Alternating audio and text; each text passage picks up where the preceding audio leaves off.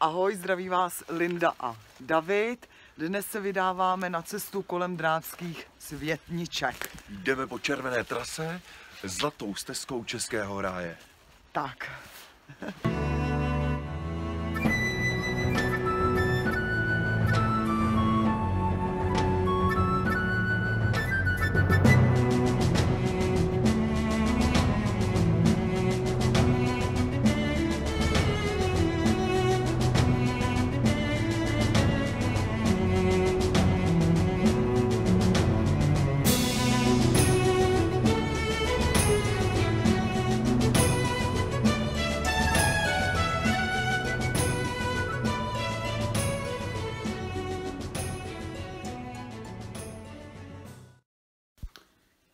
Nacházíme se na Starých hradech u Příhraz. Je to naše první hřebenovka. Začíná silný vítr a občas sněží. Stejně tak se používá i označení Stará hrada. Leží v příhrazských skalách v nadmořské výšce okolo 350 metrů, asi jeden kilometr západně od vsi příhrazy směrem na krásnou vyhlídku v okrese Mladá Boleslav. Do současnosti se dochovaly zbytky dvou světníček a zahloubený objekt, asi bývalá studna. Stejně jako u dalších hradů, na svazích vrchu Muský neznáme ani v tomto případě původní jméno. Vzhledem k absenci písemných pramenů lze jeho existenci datovat pouze na základě nalezených keramických střepů z 13. až 15. století. Abyste jenom viděli, že i v té náročnosti to může být krásný a pak zase máte za odměnu pohled. Vím, že je taky kliše, ale máte za odměnu takovýhle pohled a to je asi k nezaplacení.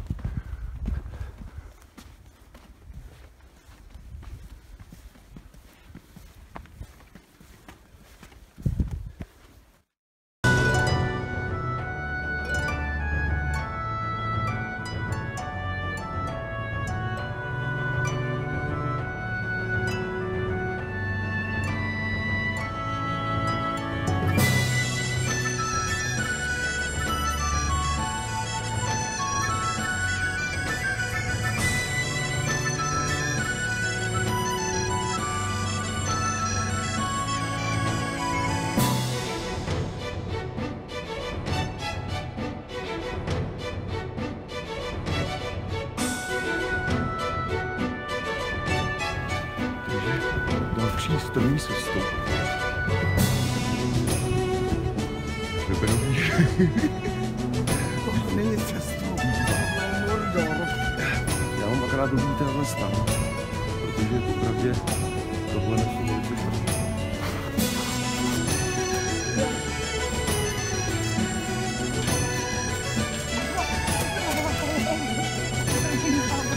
Je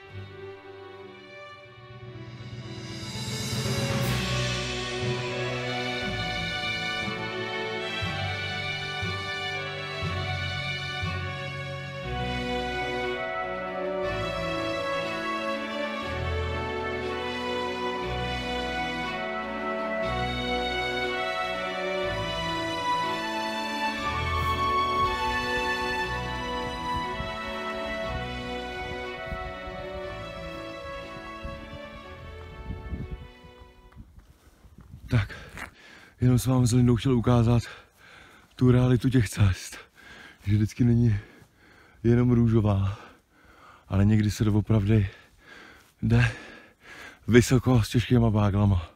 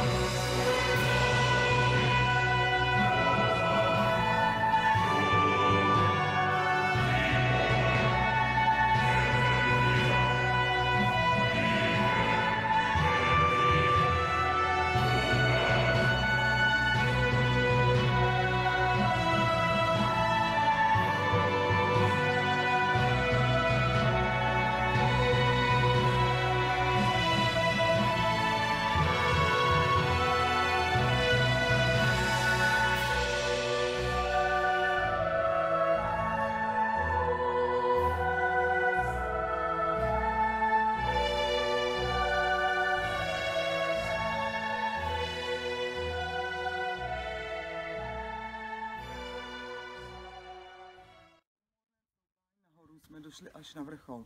A opravdu to stojí za to. Vypadá to tady nádherně.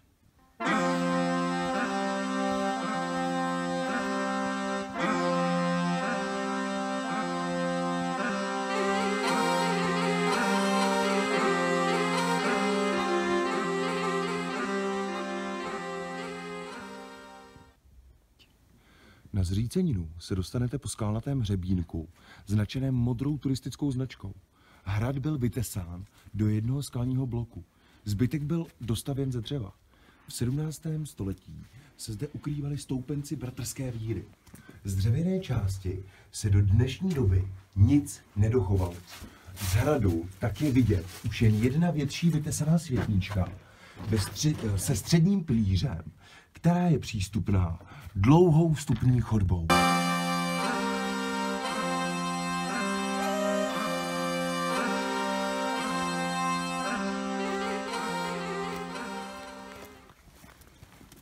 Našli jsme úplně nádherný místo. Byl tady už založený vohníček, takže jsme se ho tady taky udělali. No a takhle to tady vypadá nádherně. A tam je vlastně cesta, po kterými až ráno vstaneme, půjdeme.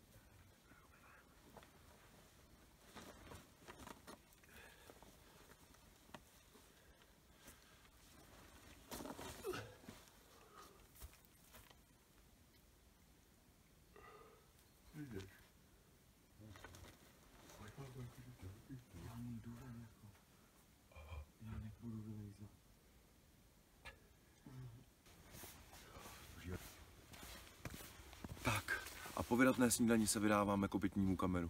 A pokračujeme stále po modrách.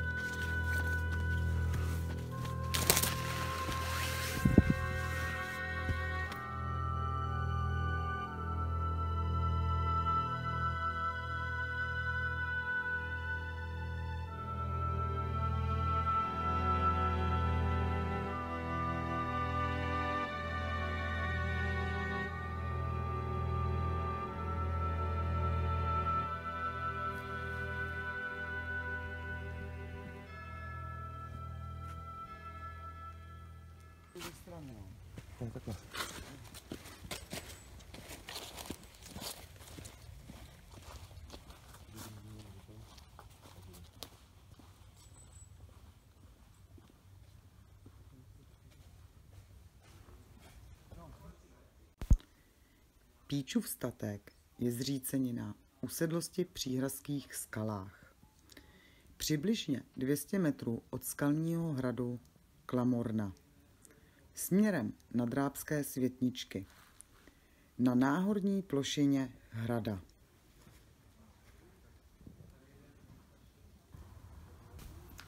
Klamorna je skalní hrad východně od vsi Dneboch v okrese Mladá Boleslav a v chráněné krajinné oblasti Český ráj. Leží asi 4 km jihovýchodně od Mnichova hradiště v příhradských skalách v nadmořské výšce 340 metrů. Spolu se sousedním skalním hradem Drábské světničky a hradištěm hrada je od roku 1967 chráněn jako kulturní památka. Nejstarší osídlení Klamorny spadá podle archeologických nálezů již do středního eneolitu.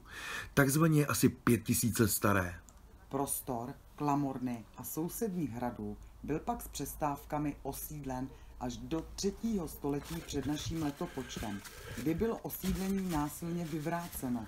V 9. století byly hrady nově opevněny a vznikl i šíjový vál na Klamorně. Od druhé poloviny 13. století byla Klamorna spolu s drábskými světničkami, starými hrady a hinštou součástí pevností soustavy na okraju vrchu mužský. Hrad zanikl, ale během husických válek, kdy okolí ovládli hejtmané Bertman a Bartoš z Valčova, byl na krátkou dobu obnoven. Hrad stál na pískovcové ostrožně s kolmými stranami, oddělené od zbytku stal- skalní plošiny. Úzkou šíjí. Tu přehrazuje val, který byl vybudován již jako součást pravěkého hradiště. Vrcholové plošiny skal nevykazují stopy zástavby, jenž na jižní straně se dochovala ve skále vysekaná cisterna.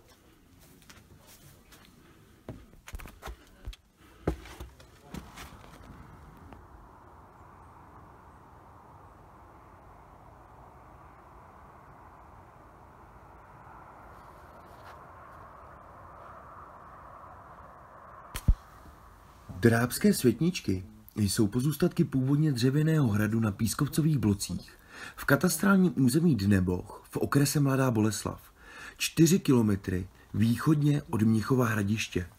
Nacházejí se v chráněné krajinné oblasti Český ráj na území evropsky významné lokality soustavy Natura 2000 a přírodní rezervace Příhrazké skály. Skalní pevnost byla vybudována na severozápadním okraji plošiny zvané Hrada, v nadmořské výšce okolo 370 metrů nad mořem, 105 až 155 metrů nad tokem řeky Jizery.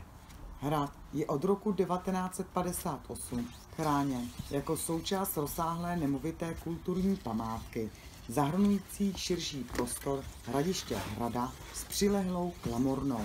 Vlastníkem pozemku s areálem hradu je Česká republika. Zprávu a péči o památku zajišťují lesy České republiky. Opevněné sídlo neznámého jména bylo podle archeologických pramenů založeny, založeno někdy ve druhé třetině 13. století v průběhu výrazné kolonizační aktivity radišťských cisterciáků. Drábské světničky s blízkou klamornou a opevněním staré hrady u příhraz alespoň zpočátku plnily funkci strážních bodů, střežících klázeřterní území i část pojizerské stezky. Početné archeologické nálezy dokládají existenci hradu až do 14. století a jen nevýrazně v 15. století, kdy je uvažováno o, je, o jeho obnovení během husických válek.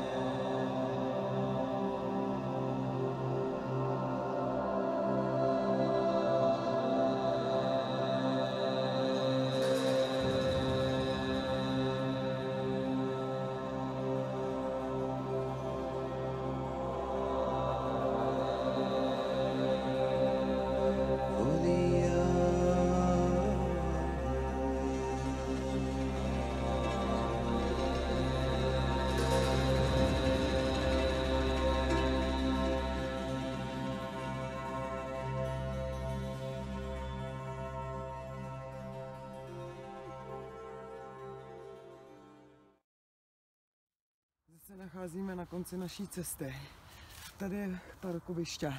Udělali jsme vlastně celý okruh. Kolik to mělo kilometrů? Mělo to 11,8 km by A to bylo to být. opravdu náročný, protože jsme šli celou dobu po hřebenu. Na to, že je kolikátýho, ani nevím, kolikátýho 12. prosince. 12. prosince, tak ta noc byla teda opravdu strašně teplá. Já se s váma loučím a těším se do tam, mám hrozný hlad. Tak ahoj.